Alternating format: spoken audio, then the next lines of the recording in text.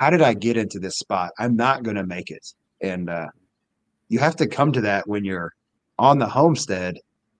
Those those moments of I can't believe this. This is not this. Oh, it's it's the simple life and it's idyllic and it's it's really hard. Um, ours came. I remember that moment. I mentioned we we had spent our last bit of money on some milk cows.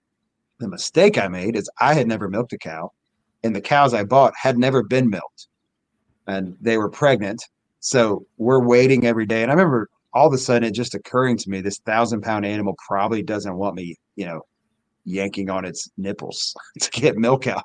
And um, sure enough, my wife and I we went in. We, we had trained her in a stanchion, and I put I had a jar of iodine to clean it off, and I reached forward to put the iodine, you know, to clean the teat off, and she kicked it. And iodine is red, so it just looks like blood splattering all over this barn. And it wasn't even a barn. We had screwed some boards onto like a you know an open shelter and um I kept trying to go to milk this cow, and she had just had a calf where you know, with the calf's hollering. It's of course it's got to be summertime. There's there's manure, there's flies. I'm sweating. My wife is there, um, with a baby on her back, strapped to her back. I think it was Peter, strapped to her back on some kind of you know baby carrier or something.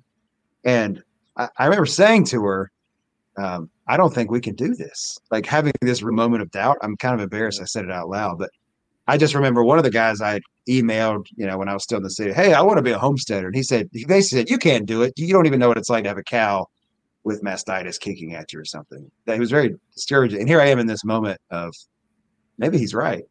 Um, but my wife being there with the family, needing the milk, we, we had spent our money, like we needed this milk to eat. It wasn't I don't know. And I, this wasn't an add on. This was a, a necessity. And then my wife, she says, you know, if this was one of the kids, you wouldn't let her, them get away with kicking you. You know, you would. This this is we've we've got to get through this. And um, she, there's a little trick. You know, you can hold the tail up. if Anyone in the back, and so she's back there holding the tail up uh, in the air while the cow is. We call it anger pooping. I don't know if the listeners don't yeah. know. A cow can actually pass you know, sort of express its uh, uh, displeasure with you by uh, expelling manure that's not quite digested yet. So it's even worse. So she's back. It's coming towards her. I'm on my hands and knees on the milking of this cow, one hand at a time. Uh, and we made it through. But it was, uh, I think that was our moment. I don't know if that was your, that was your moment of like, what, what have I done?